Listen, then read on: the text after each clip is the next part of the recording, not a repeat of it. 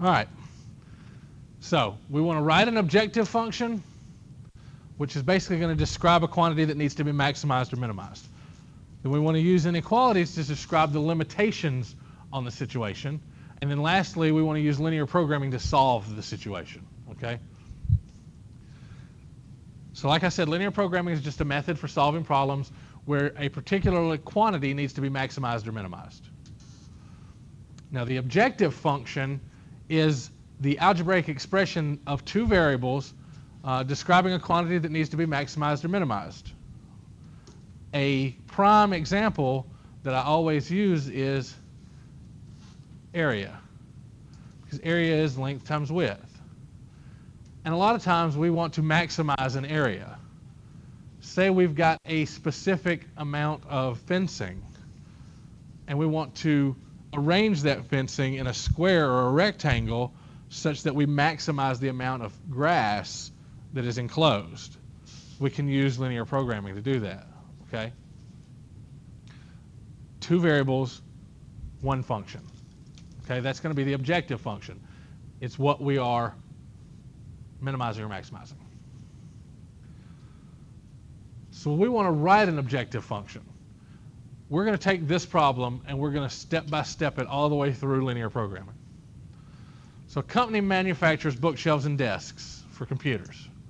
X is going to represent the number of bookshelves that they make uh, per day, and Y is going to be the number of desks they make per day.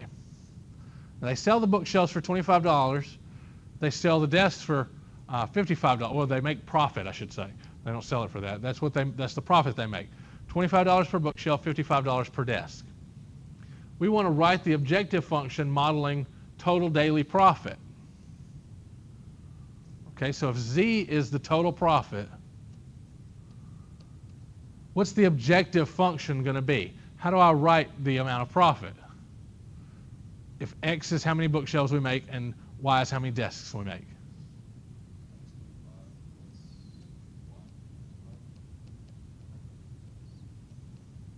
Right. We're going to multiply 25 times however many bookshelves we make.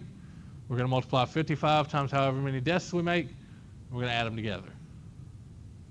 Now, if I were to ask you to maximize this, you really couldn't. There's no constraints. If I said, well, what's the most money they can make? Well, yeah.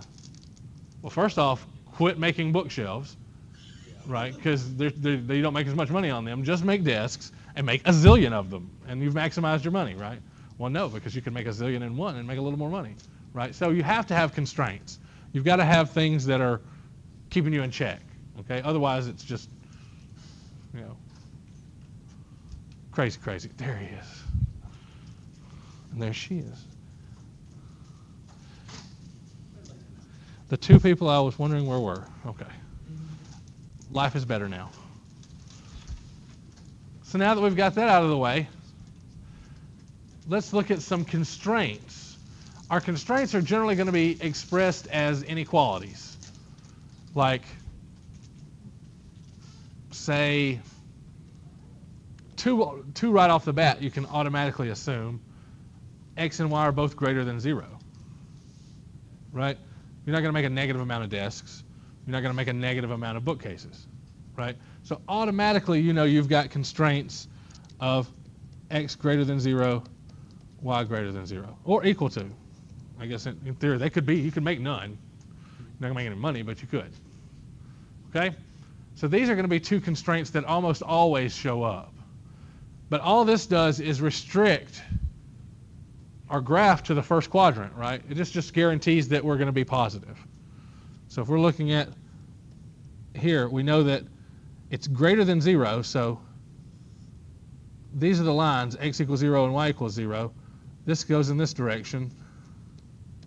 This goes in this direction. What has both of them? Just quadrant 1, right? So automatically we know we're going to be in quadrant 1.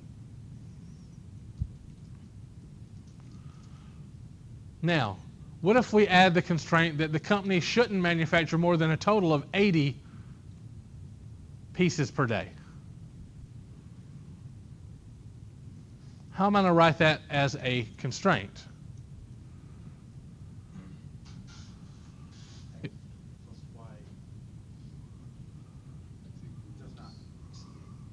How do you write x plus y does not exceed 80? x plus y is less than or equal to 80. Right? That means that the total of all the bookcases and desks will not be greater than 80. It can be 80, but no more than 80. That's where the equal to comes in. That, that's, that's important. Okay? Now, what if I tell you that to meet customer demand, the company has to manufacture between 30 and 80 bookshelves per day, inclusive? How would I represent that as a constraint?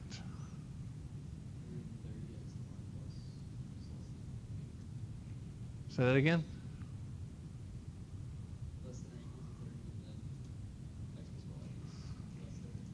Now be careful. This is strictly bookshelves.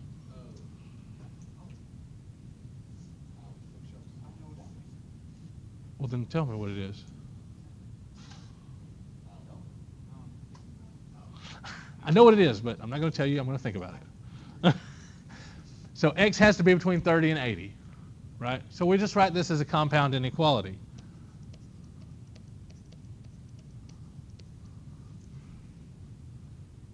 x has to be between 30 and 80. You can write it as x greater than or equal to 30, x less than or equal to 80. X is bookshelves, right? So you can write it either way. Since it's constraints, it's, it's and, so you can write it as a compound. All right, what about because of customer demand, they have to manufacture at least 10, but no more than 30 desks per day? What is this going to look like?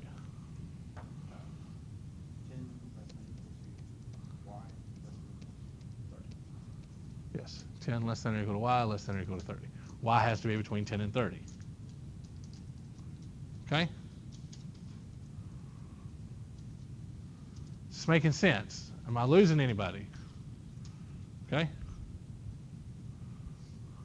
Now, to solve a linear programming problem, we've got the objective function.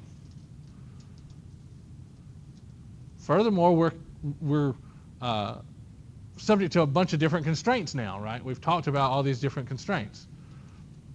So if a minimum value of z or a maximum value of z exists, then it can be found like this.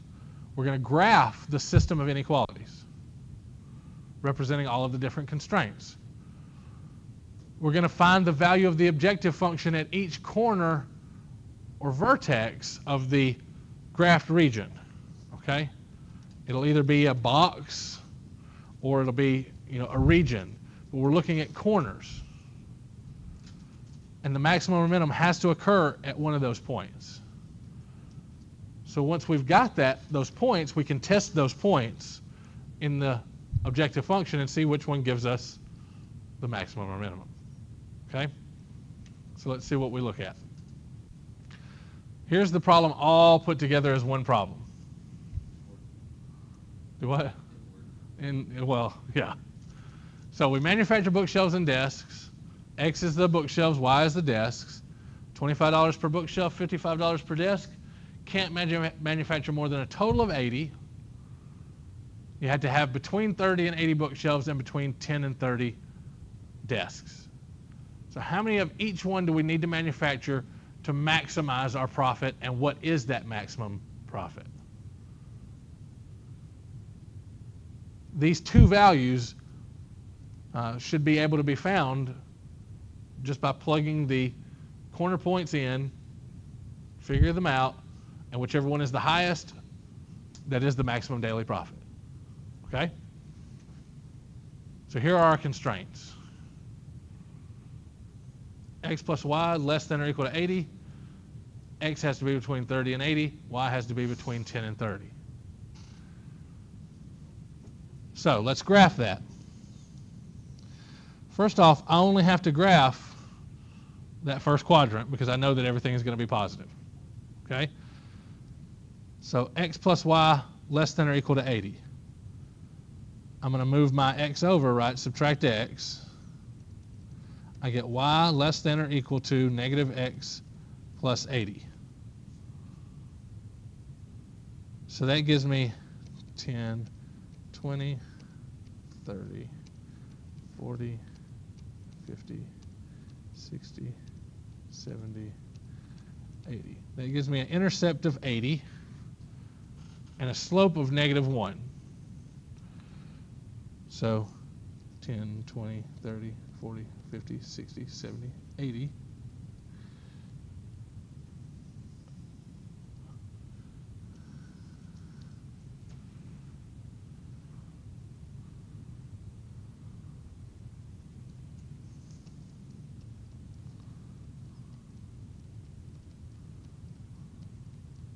Okay? No problem with that. Okay? X has to be between 30 and 80. So that's x equals 30. That's x equals 80. Right? Okay? And then we've got y has to be between 10 and 30. So that's 10, and that's 30.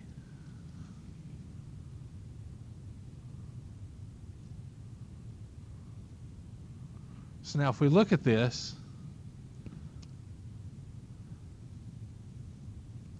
from our first equation, y had to be less than that line. So we're talking about y being less than Okay? Second equation has to be greater than 30 but less than 80. Greater than 30 but less than 80.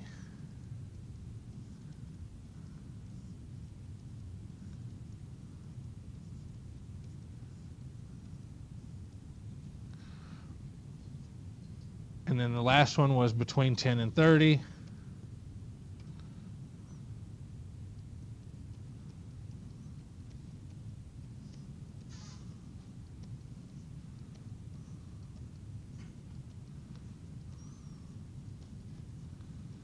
Okay? So we're looking at the area constrained by all of these things. That's why it's called constraints, right? So where are the vertices for that? We've got one here, here, here, and here.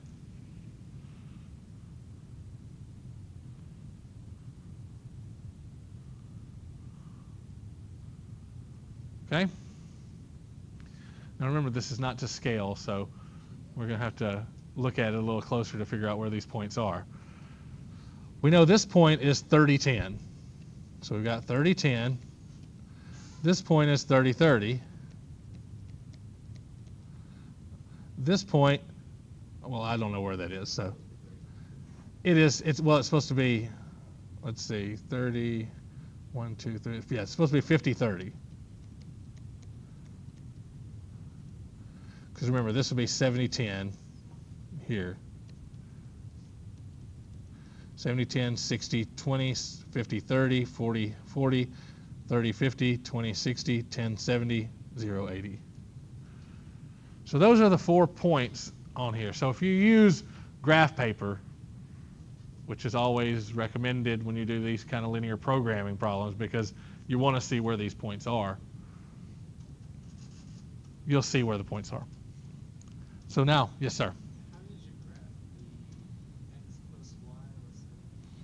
I changed it into slope-intercept form by subtracting x from both sides. And then it's got a slope, I mean, it's got an intercept of 80 and then a slope of negative 1.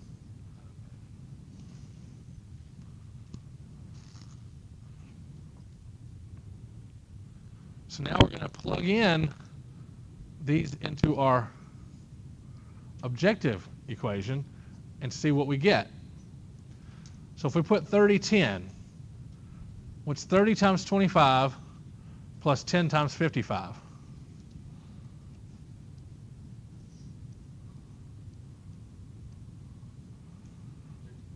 Thirteen hundred. All right, what's 30 times 25 plus 30 times 55? It's going to be a bigger number.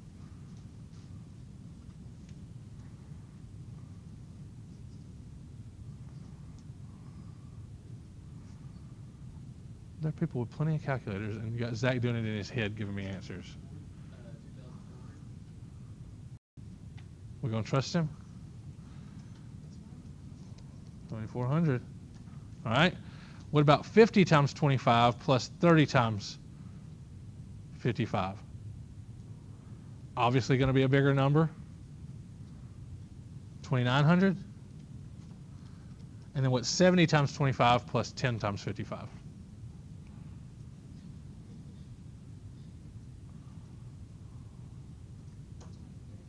Twenty-three hundred. So which one gives us a maximum? 50-30. So we need 50 bookcases, 30 desks, and we will generate $2,900 of maximum profit. That's the most money we can make per day. That's not too bad.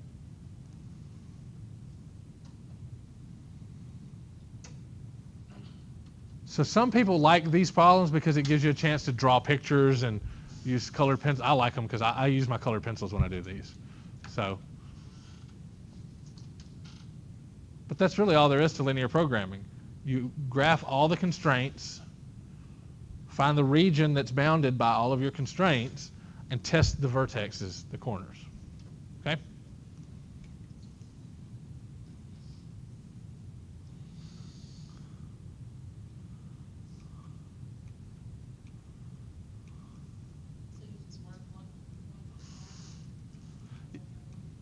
Mm-hmm. Because you know they're all going to be in quadrant one because x and y both have to be positive.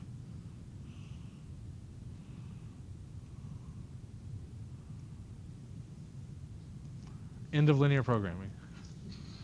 Like I said, it's not a challenging concept. It's just doing it, you know, making sure that you know how to uh, graph all those inequalities. Finding the corners is not difficult, particularly if you've graphed it on graph paper. And then plugging them back into your objective function, just algebra, okay? So that's 7, 6. Now, now we got to do some math. Binomial theorem.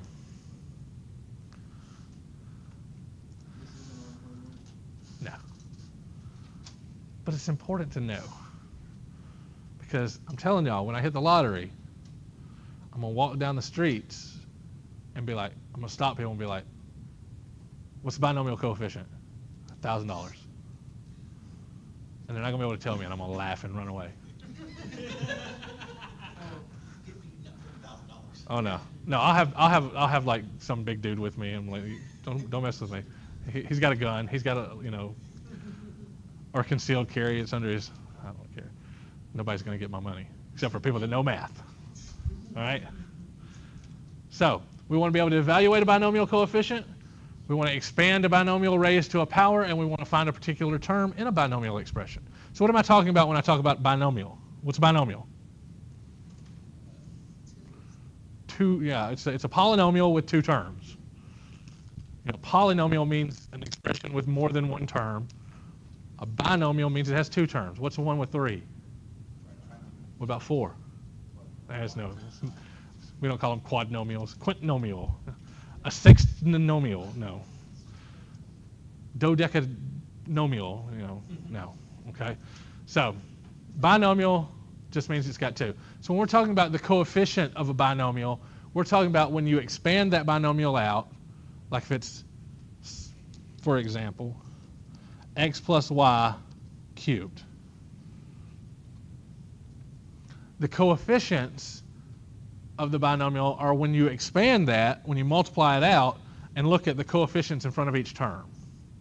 That's what we're talking about. That's what a binomial coefficient is. Okay?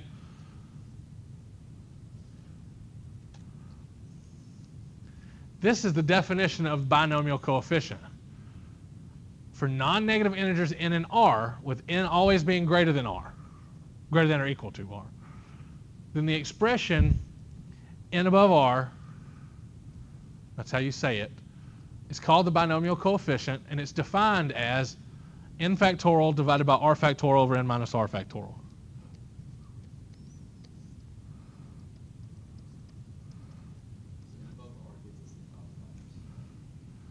No. n factorial over r factorial times n minus r factorial will give you $1,000. If you say n above r, I might give you like 20. No, $20. now, what's factorial? Who here knows factorial? Who, who here has done factorials? Everybody done factorials? Most people, some people, anybody? Okay, so what does this mean? I'll give you a hint. It's not three. It's not factors. You want it to be. You thought you, you know you hear the word factorial, you're like, eh, it's got something to do, with it, but it doesn't. Right. You just multiply this number times every integer less than it, every positive integer. So it's equal to 3 times 2 times 1. Or 6. So what's 6 equal to?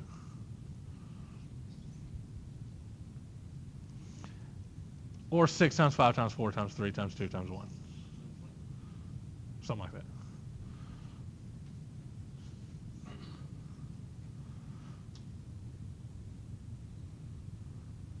Hundred and forty-four times five.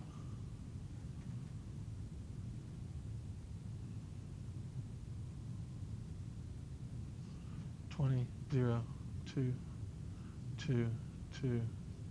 I don't know.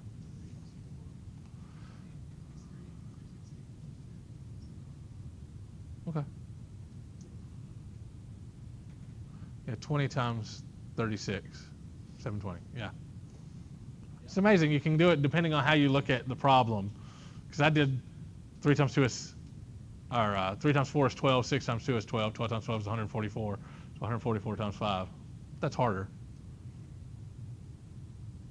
Anyway. So, what is 6 above 3? Give me a number.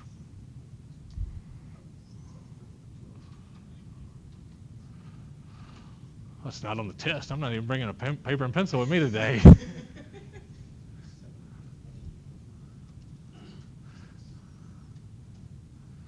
so it's going to be 6 factorial over 3 factorial, 6 minus 3 factorial, which is 6 factorial over 3 factorial, 3 factorial,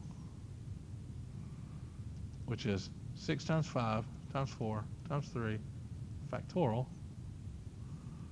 over 3 factorial 3 times 2 times 1. 3 factorials will cancel out. 3 will go into 6 twice. 2 will go into 2. 20.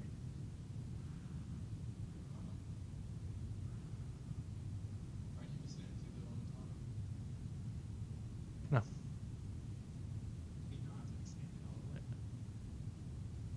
Wait. This 3 is 3 factorial. It canceled with this 3 factorial.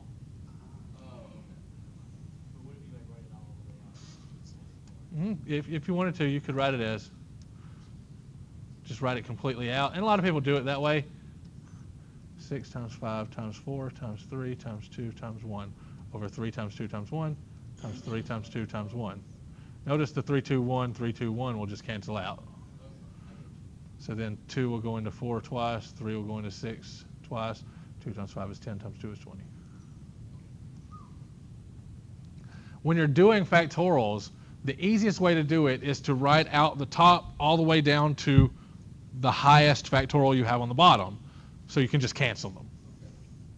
Like if you had 20 factorial over 16 factorial times 3 factorial. You know, something like this, or times 4, I should say. Then I would write that as 20 times 19 times 18 times 17 times 16 factorial and then say 16 factorial times 4 times 3 times 2 times 1 then I can cancel the 16 factorials out. I don't have to write them all out because they're just going to cancel out. Okay? What about 6 above uh, 0?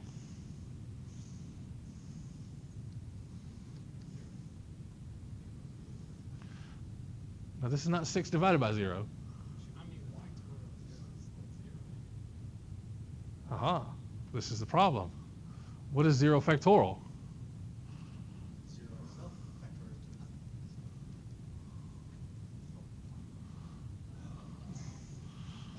Without that little tidbit of information, which we're assuming at this point since some of you know factorials that we've done them before, but that's that is one of the basic rules of factorial, that 0 factorial is equal to 1. So what is 6 above 0? It's going to be 6 factorial over 0 factorial, 6 minus 0 factorial, which is 6 factorial over 0 factorial times 6 factorial. It's just 1. Anything above 0 is 1. Okay, so some rules.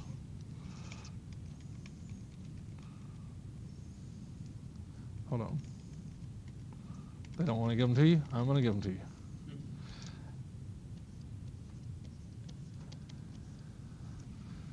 Anything above zero is one. Anything above itself is one. Okay? Why? Because n above zero is n factorial over 0 factorial times n minus 0 factorial. That's just n factorials just cancel out, right? You just get 1. n above n is n factorial over n factorial times n minus n factorial.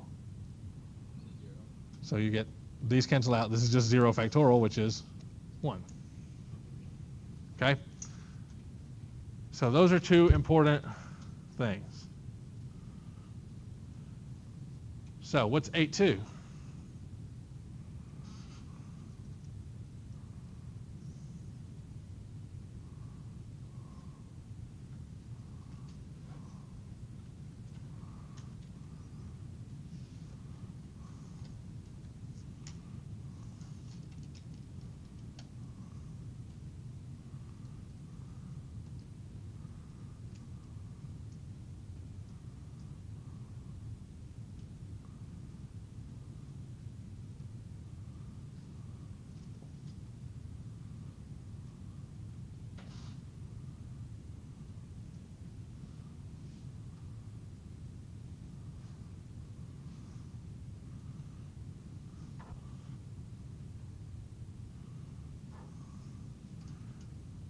See a bunch of calculators working, and I don't know why. 8 factorial over 2 factorial times 8 minus 2 factorial is just 8 times 7 times 6 factorial over 2 times 1 times 6 factorial. 2 will go into 8 four times, 4 times 7, 28.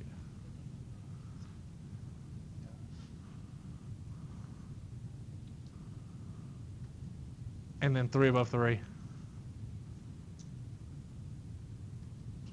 Thank you. It's like, come on, y'all. I just told y'all anything above itself is 1. Now, I'm going to show you something. It's one of the most beautiful things you'll ever see.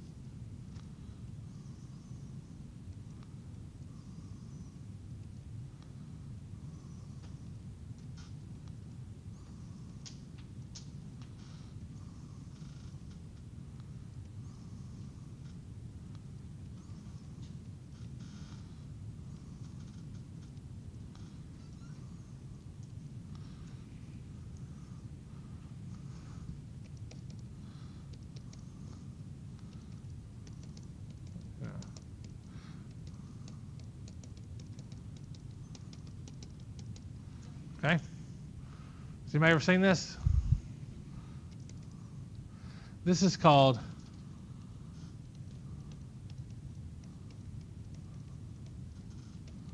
Pascal's triangle. What Pascal's triangle gives you, magically enough, are the binomial coefficients. Now, the first row is the zeroth row. Okay? First spot is 0. And then they go to 0, 1, 2, 3, 4, 5, 6, 7, 8. Okay? So if I'm looking for 8, 2, I go to the eighth row, second spot. Eighth row, that's this one that's got 8 in it. Second spot, this is 0, 1, 2. I don't know why 20, 21 plus 7 is 8. Now, it's 28, which is what we got before when we did it. Now, how we do this is every number in here can be found by adding the numbers above it. 1 plus 1 is 2. 1 plus 2 is 3. 1 plus 3 is 4. 1 plus 4 is 5. 4 plus 6 is 10. 4 plus 6 is 10. 4 plus 1 is 5. 10 plus 10 is 20. 15 plus 20 is 35. 21 and 35 is 56 the numbers above it create the number below it.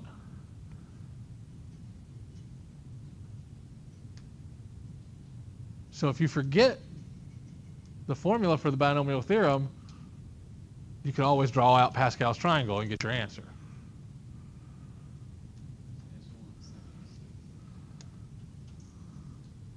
The second one, 3, 3, third row, 0, 1, 2, 3. Because what did I say? Anything above zero, always one. Anything above itself, always one.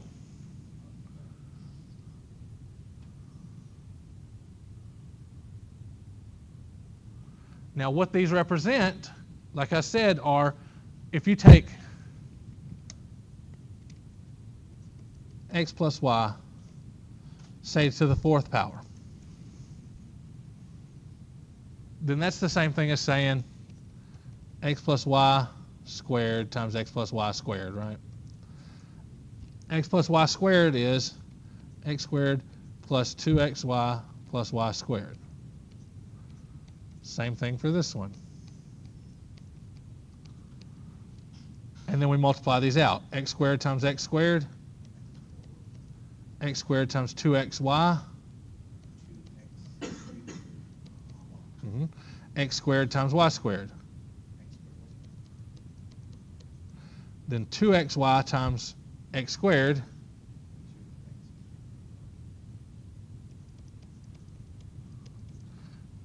two xy times two xy and then two xy times y squared. y squared times x squared y squared times 2xy, and then y squared and y squared, no, y to the fourth. If we add these together, we get x to the fourth, 4x cubed y, 6x squared y squared, 4xy cubed, 1y to the fourth. What are those coefficients? 1, 4, 6, 4, 1 fourth row of Pascal's triangle. That's why it's called the binomial coefficient, because these are the values that you're going to get anytime you do it to the fourth power, that's fourth row. Do it to the eighth power, these are going to be the coefficients.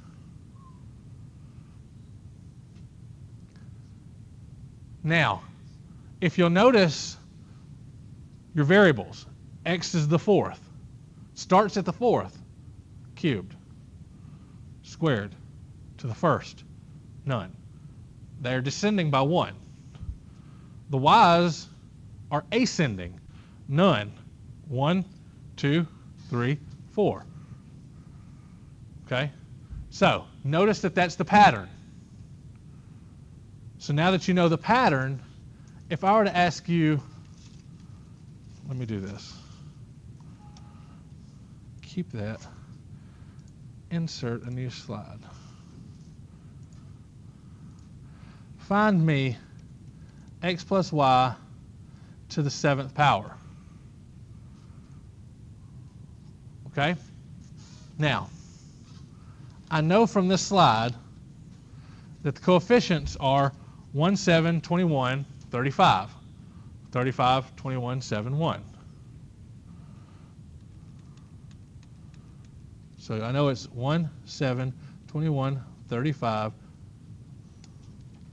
35, 21, 7, 1. 0, 1, 2, 3, 4, 5, 6, 7. You should have eight total coefficients. Now I know my x starts with the highest power, x to the 7. And then x decreases by 1 and y increases by 1. Next, x decreases, y increases. Next, x decreases, y increases. Next, same deal.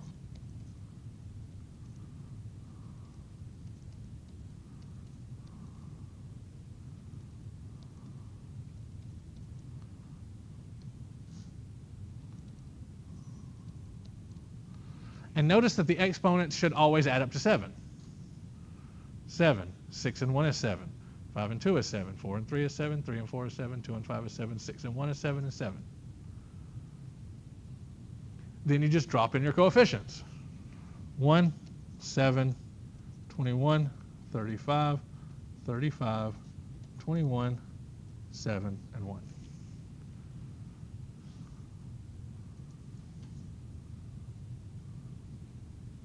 And that's it. That's binomial expansion. It becomes a little more difficult when you change the x and y to something like 2x minus 3 to the fifth power.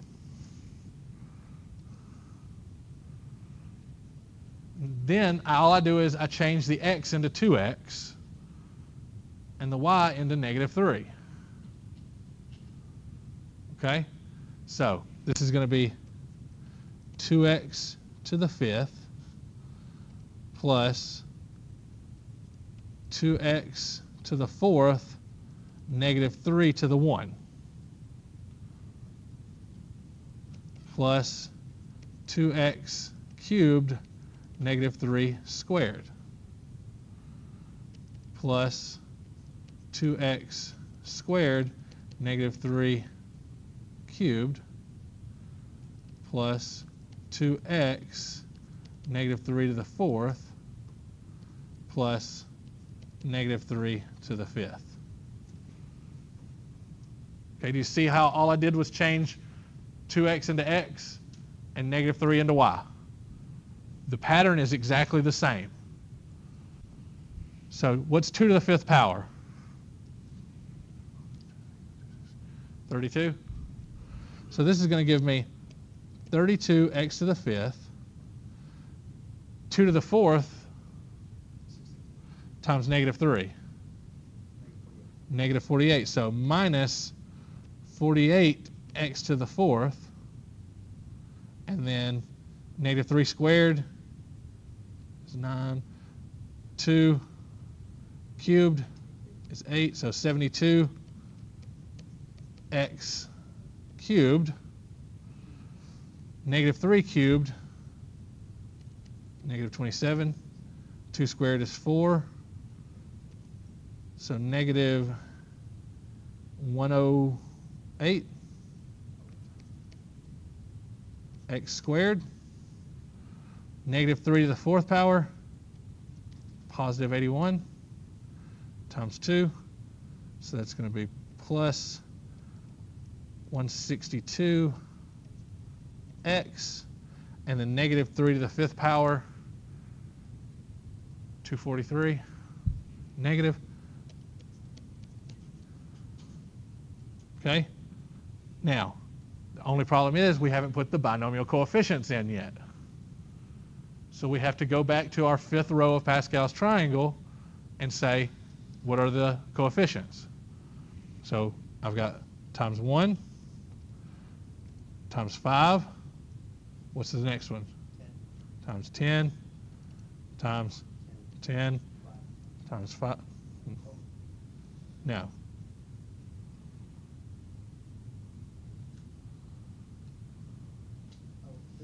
yeah, times 1. No, it's right. Yeah.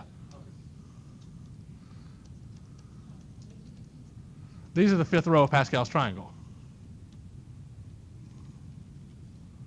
Fifth row.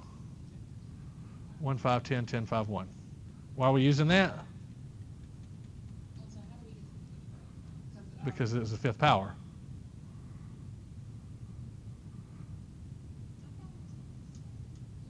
This is a different problem. Yeah, this this is different problem from from that one. So now this gives us 32 times 1 is 32x to the fifth. Negative 48 times 5, negative 240x to the fourth. And then plus 720x cubed minus 1080x squared plus 01810x minus 243.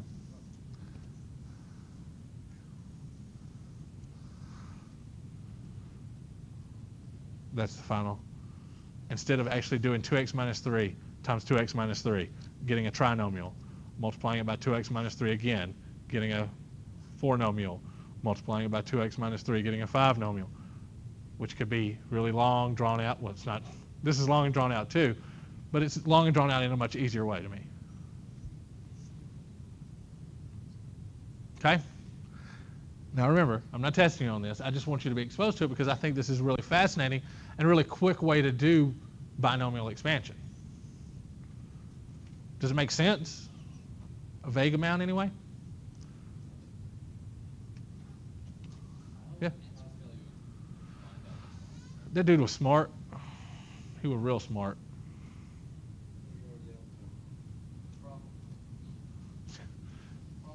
They had no internet, you know, no game systems, you know. That, was pre Nintendo, pre Atari. There was a story about, I can't remember who it was, it was one of the most famous mathematicians. Uh, but he's the one that discovered that. I don't know if you've ever seen. Has anybody in here done summations? You know, where you use sigma? Where i equals 1 to n of like 2i plus 3 something like that. This is called sigma notation, where you're summing a bunch of things together. Anyway, there's a formula for the sum of the first i integers.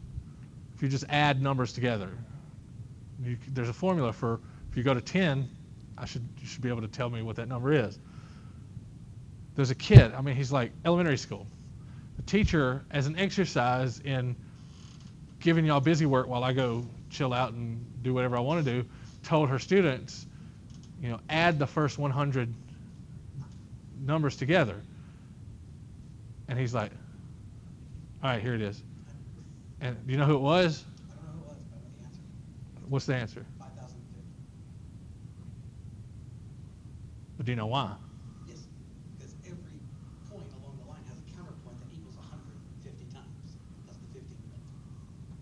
this is he did it yeah he, i think he did it kind of that way where if you look at the numbers right you've got 1 plus 99 that's 100 2 plus 98 that's 100 3 plus 97 that's 100 you've got 50 pairs that do that you know you know plus you know so that's that's the way you come up with that number. But there's a formula for it and it is n times n plus 1 divided by 2. If I tell you to add the first 100 digits, 100 plus 101 divided by 2.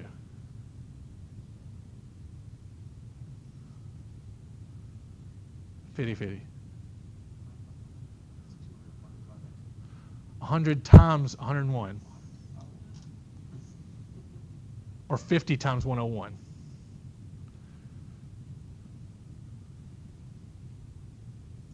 Okay? So if I were to ask you, what's the, if you add up the first 20 numbers, what is it?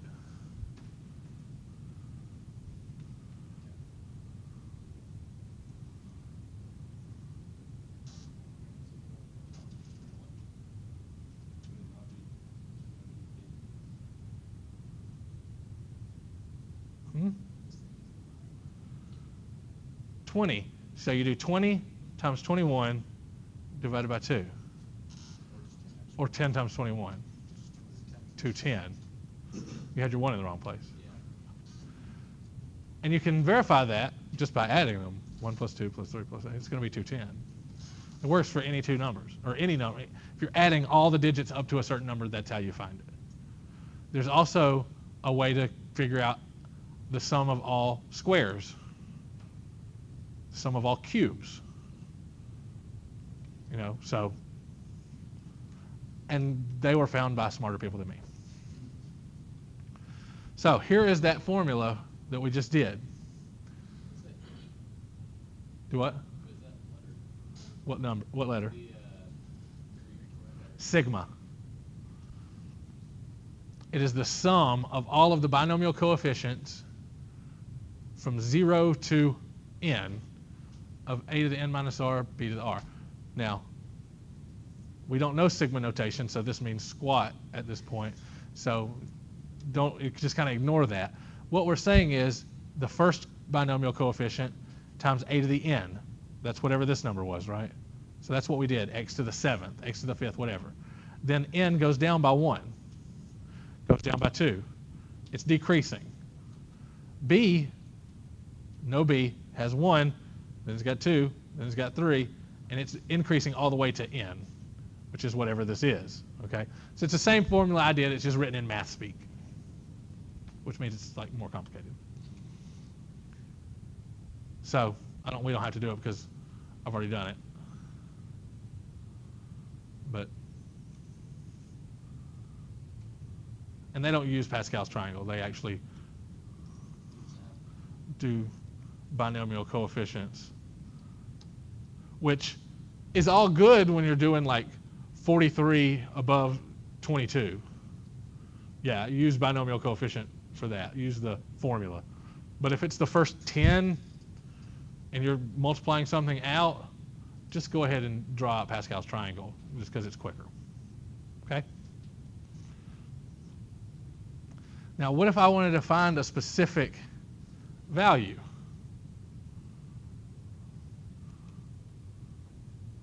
Find the fifth term in this expansion.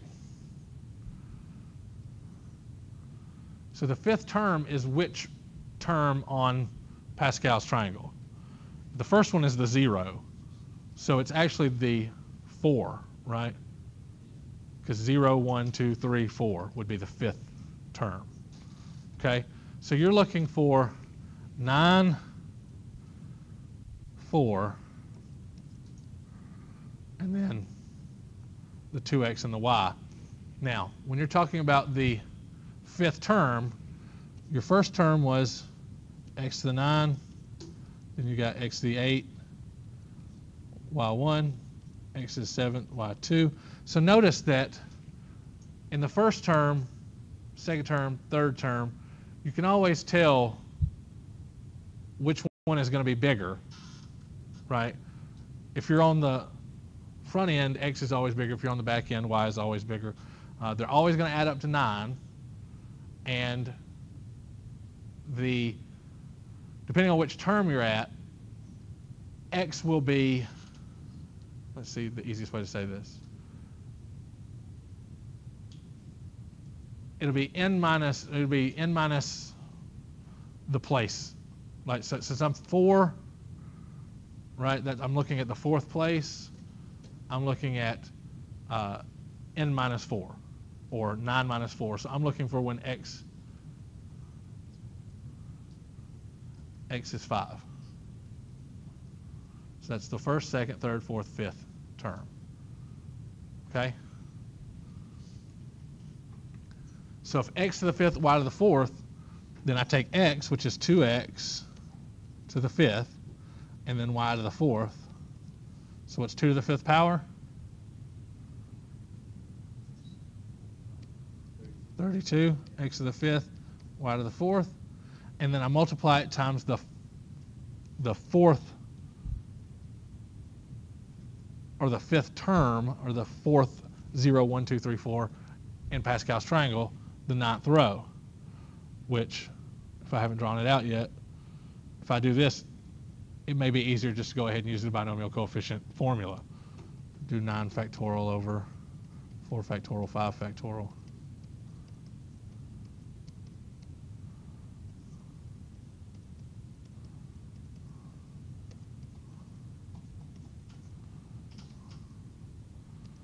That's going to be 7 times 9 is 63, 126.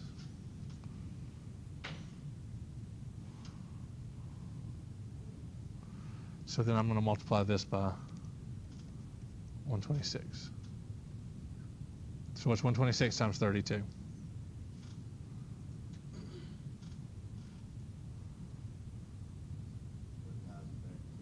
Four thousand thirty-two.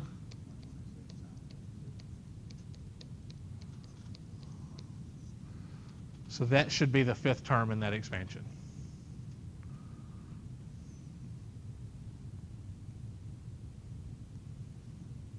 Okay?